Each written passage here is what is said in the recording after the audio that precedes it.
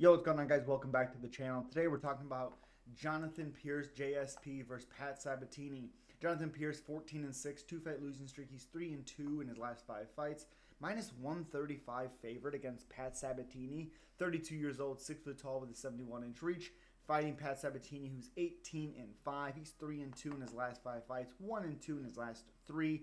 He's had a bit of a, a unlucky streak, to be honest, because like he fights Damon Jackson on Damon Jackson when, uh, uh, a little bit after his brother had passed away. So it was it was a very very emotional fight for Damon Jackson, who who gets the win. I believe he catches him with a knee, or no, I think he catches him with a front kick, something like that. And then he comes back and destroys Lucas Almeida, which was, yeah. Uh, and then he be, and loses to Diego Lopes 10 months ago, just in this storm of Diego Lopes plus 110 even, 33 years old, 5'8 with a 70 inch reach. What is that? Two, three, four inch height advantage for JSP with a one inch reach.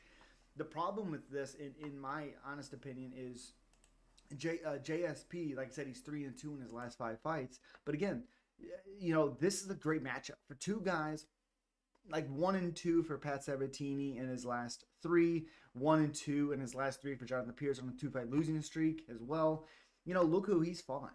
I mean, he's fought Christian Rodriguez, Makwan Amirkhani, who's just not good, overrated. Darren Elkins, he destroyed. Uh, didn't like finish, but he beat the crap out of him. And then lost to Joanderson Brito. He was having success, not winning, but having success. And then he was ninja choked. And then he fought uh, David Onama. And Onama just has some big, big power. His striking's very good. And if you can keep Jonathan Pearce at bay, at the distance and at bay, you're going to win the fight. The fun thing about this matchup is they're not going to do that. Neither one of them is a great striker. I would actually say Pearce is a better striker, um, just because I don't think Pat Sabatini is a great striker. But they're both really, really good wrestlers. Sabatini is better with his like jujitsu. He's okay with pulling guard. And that does worry me a little bit because Pat Sabatini might accept too many positions because he he's going to look for submissions, all these things.